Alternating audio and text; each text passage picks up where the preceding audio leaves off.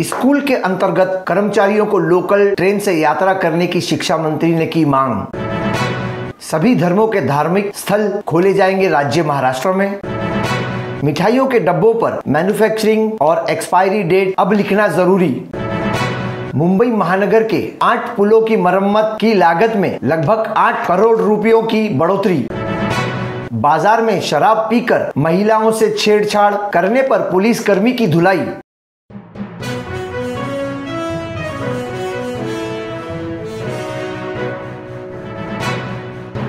मैं अफराहिम मीर। आज का महानगर की फास्ट ट्रैक खबरों में आपका स्वागत है।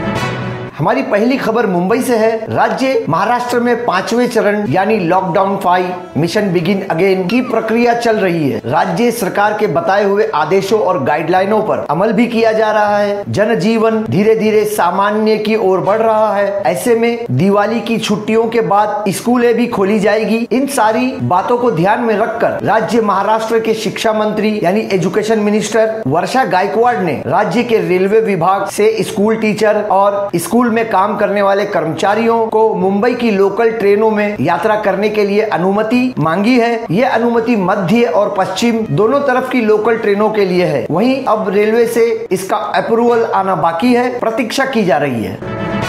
हमारी दूसरी खबर राज्य महाराष्ट्र से है। राज्य महाराष्ट्र की आघाड़ी सरकार द्वारा शनिवार 14 नवंबर के रोज यह निर्णय लिया गया है कि सोमवार 16 नवंबर से सभी धर्मों के धार्मिक स्थलों को खोल दिया जाएगा। जैसे मंदिर, मस्जिद, चर्च व अन्य धार्मिक स्थलों को खोलने की अनुमति दी गई है। राज्य महाराष्ट्र के मुख्यमंत्री उद्धव ठाकरे की अगुवाई वाली सरकार ने नागरिकों से धार्मिक स्थानों पर प्रवेश करते समय सामाजिक दूरी, यानी सोशल डिस्टेंस और कोविड 19 प्रोटोकॉल के आदेशों और गाइडलाइनों का पालन करने का आग्रह भी किया है।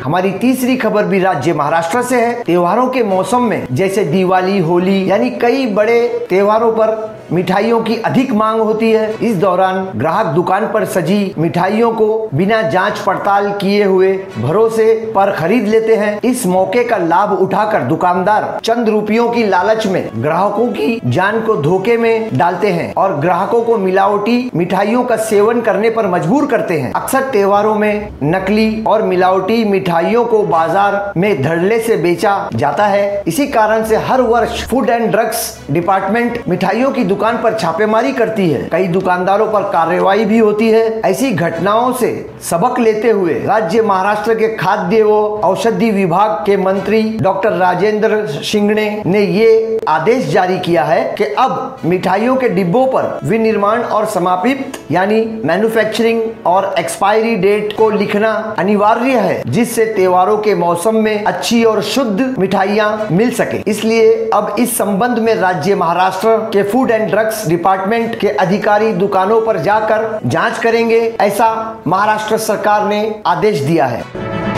हमारी चौथी खबर मुंबई महानगर से है। ब्रिन मुंबई महानगर पालिका बीएमसी ने रेलवे विभाग के साथ मिलकर ये ऑडिट शुरू किया, जिसमें ऑडिटरों ने आठ फ्लाईओवर ब्रिज के काम में अतिरिक्त सुधार का सुझाव दिया है, जिसके परिणाम स्वरूप लागत 15 करोड़ 33 लाख रुपयों से बढ़कर 23 करोड़ 60 लाख रुपए हो गई है। पुलों के विभाग ने आठ करोड़ 27 लाख रुपयों की वृद्धि की है। प्राप्त जानकारी के अनुसार जुलाई 2018 में हुए अंधेरी के गोखले ब्रिज, जिसमें दो लोगों की जान चली गई थी और छत्रपति शिवाजी महाराज टर्मिनस के हिमालय पुल के ढह जाने से लगभग सात लोगों की मौत हो गई थी, जिसके बाद सभी पुलों का संरचनात्मक ऑडिट किया गया। सिविक पुल विभाग ने स्थायी समिति को रिपोर्ट प्रस्तुत किया, जिसमें आठ पुलों की मरम्मत करने कहा गया है और आठ करोड़ सत्ताईस लाख रुपयों की वृद्धि की गई है। ये पुल इस प्रकार से है। Mahalaxmi railway station, Curry road railway bridge, Sion railway bridge, Lokmanya Tilak Dadar flyover, Dadar full market पुल, माहिम फाटक पुल और दादर धारावी नाले फुट ओवर ब्रिज। इस सभी पुलों की मरम्मत का काम ज़रूरी बताया गया है।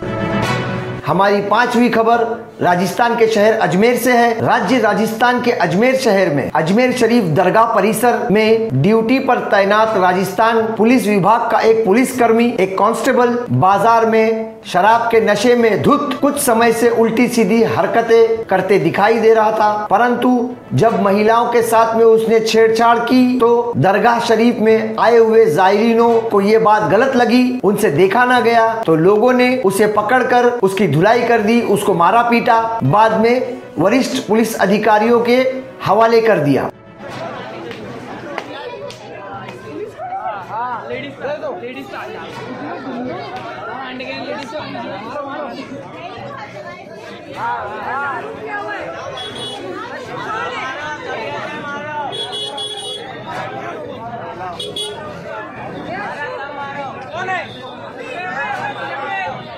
मैं अपनी नहीं हूँ?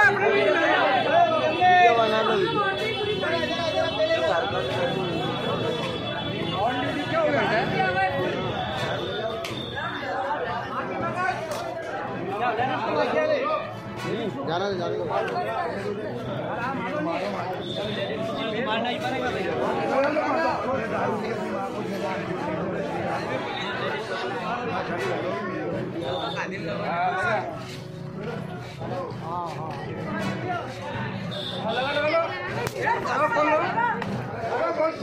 नहीं